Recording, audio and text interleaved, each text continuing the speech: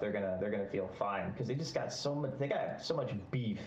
Right. Lyrical. They're just they got, they got these thick boys that are looking to get in and throw some hands. So excited. I can't wait. Get in there, Magnus. Start Abed. Gonna start punching people. 800 starting HP, 700 starting HP. This ET is gonna just man up on folks and try and get in the fight. Does have the spirit and already gonna start laying into that disruptor. Um, that's kind of an interesting one too. He went for the Cinder Brew level one, and then they throw the Astral on it afterwards. That's kind yeah, of cool. trigger is off any damage now, so you can uh, you can get the the extra bonus very very quickly. This is a, a scary lane actually for Navi. It's not often that you see a double range lane against double melee and go, oh yeah, the double range lane might actually be able to die here. Right. You know, because the ET throws a spirit onto the creeps or and it like drags it through them when they get the Cinderbrew on. If you get too close to Ramses one time and you get that thunderclap on you, it could just be the end. We'll have to watch for that one closely. Down here bottom, it's also a matchup of double melee against the range in the melee. Fly gonna have to work overtime as Easy just keeps on punching away on Pasha. Yeah, this is how you deal with Underlord. You just bully him at low levels. He doesn't really do much until like two or 3 Um, some matchups you can get atrophy early and really stack your base damage and stuff. He's just gonna TP out. And I think at the moment, uh, yeah, Zach's doing some some creep pulls. Oh man, Arteezy's actually gonna try and keep this creep wave from going underneath the tower though. And- He always does this. Yeah. He's gonna drag it around between the tier one and the tier two, and he's gonna just let his wave die. Okay. This is the RTZ classic. I've seen him do this every game. It's really good though. Like this is what you want, right? Because essentially what you're doing here is you're denying a whole creep wave from at least one of the heroes. Like now Pasha is forced into a very like uncomfortable position to CS here, while uh, now he doesn't have to worry about his lane pushing, as we're gonna see the first blood there. It's like Fly just uh, I don't even know how that happened. What the hell? Uh, yeah, I don't know how that happened. I honestly, that's my bad. I feel like I distracted you. No, you're fine. But yeah, the uh, top lane as well. Yeah. Some damage coming out. I've been liking seeing just supports coming to lane with. I mean, right now Fly has five mangoes in his inventory. He's ready to queue some people. This is what I do in Turbo also. You just buy like 10 mangoes and sit in the lane and just keep queuing people. Well, it's the only way they're they're gonna have a comfortable win. Because as soon as the Underlord gets levels for EG, this lane's gonna get a lot worse. Yeah, already taking a lot of damage in this early going. Zayat's going to try and get a pull off, it looks like. Although Fly comes to interrupt it. And while that's going on, well, up top, it's actually the other way around as Ramsey's trying to kill off Crystallize and will be able to bring Nice. him down. Mega worth. That's a good trade. Support for core, we take that every time if you're EG. So, kind of interesting little dynamic that you've got going on here. Abed is pulling the creep wave back and forth. Magical with this DD was able to force him completely out of the lane for a second. He has another round of creeps coming through underneath his tower.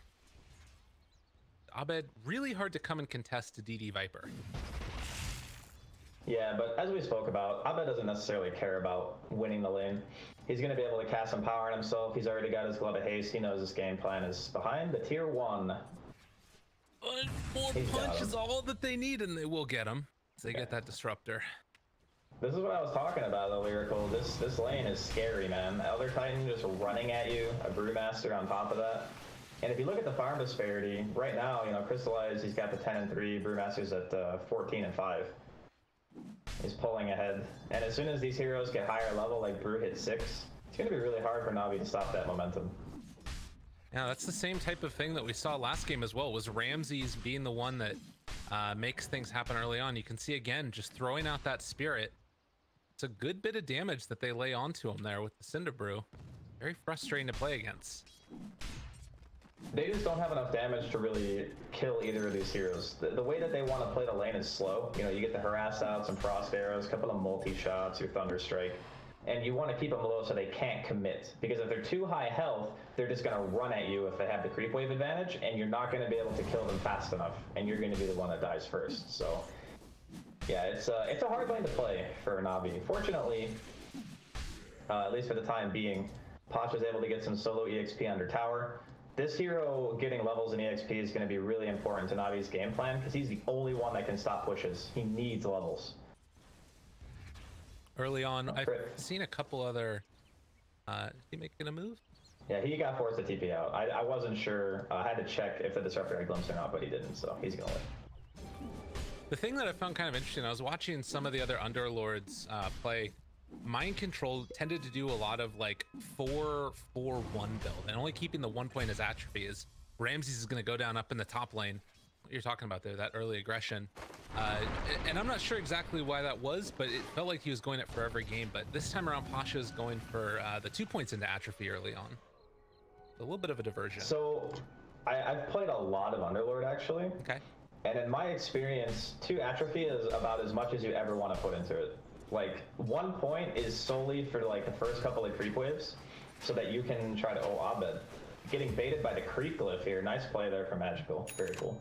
Um, but yeah, going back to the Underlord, it's it's because the second point into atrophy, if you look at the scaling, it's 5 to 15%, which is, you know, you're tripling the effectiveness of it. And then after that, it just gets worse numerically as top crit. He's gonna get toss back in. Another round of Cinder Brew onto everybody, but with all the supports in the area, and Ramsey's now also in some trouble. No points in Glyph, or rather on uh, not Glyph, Glimpse. That's the other word. But Zayat's gonna try and chase down with the toss. Minutes to it just before TPing it. Yeah, really nice movement coming in from Navi though, helping secure their lanes. The glyph coming out too from Magical, getting the kill on Abed, which was really nice. But yeah, as, as far as Underlord goes, not having Pit of Malice, you're just not you're not a threatening hero mm-hmm. without that spell. That's that's the main thing. Is top again. Where's the tiny going? He's crazy. They just keep running into him. Crystallize. Seeing if he can live through this one as Crit keeps punching into all of them. The chase down is coming as the toss up into the air. Crit maybe gonna be able to find not quite there to get the last hit onto Crystallize. I think he actually misplayed that. Like he's he stopped hitting the drow when the drow was hitting him, which means you get vision, right? Because hero's hitting you. I think he could have actually got that kill. Fly's gonna die here mid. Eats the Viper Strike. And yeah, Navi just playing everywhere right now. Over to the side, Pasha gonna try and TP away. TZ not able to get vision on him. Was just able to juke through the trees there. Uh, but that does mean Underlord out of the lane for a little bit. He has six, which you can come back into tier two on now. I guess he's gonna go to the jungle for a little bit. Wait till the creep wave comes in. Yeah, it's a little bit scary. He's got a ward, but it's not going to scout any TPs. Um, and obviously, there's no shrine there anymore, so that ward is basically just a scout out where Abed is. Oh, and the item. He got it. Ooh, Iron Talon, let's go. Not normally great to get at the, such a late time, but I mean, in this situation, it's okay. Yeah. honestly, he probably just gives it to the Drow. Because the Drow's probably going to have to leave lane soonish. Right. Because uh, is going to hit six, and that's going to be a dead Drow if he doesn't leave. Noah Ramsey's only a couple hundred XP away from that. Crit and Fly still hanging out down on this bottom side of the map. Uh, there is a wraparound coming from Magical. He's hoping to get that ward down and maybe spot any gank rotations coming towards him. He's right now the top net worth hero in the game. All of Navi feeling quite good about themselves as they get a DD and he's going to just fly his way up towards top. There's a ward. Yeah, they have a. They both have a ward, so they both teams can see what's going on here. Chase for crit. Looking for it. Meanwhile, up to the side, Ramsey's really deep in there, hoping to get level six. six and is gonna get it, but oh. can't Oh. quite get his ulti off. Which does mean they lose Ramsey's again. Fortunate going there for EG. God, that would have been a huge play if he actually got that split off, because he probably would have killed the Drow. Like, Drow can't run away. This hero is also very, very slow. We talked about the Viper being slow. Drow's kind of in the same boat. Oh, Zai getting kind of baited by the courier here. Fear pull back in. Frost Blast coming out onto Zayats. They get the sleep. The punch came in a little bit too late there. Now the glimpse away. Ramsey's going to be sent home, and Zayat looks to be living. Okay.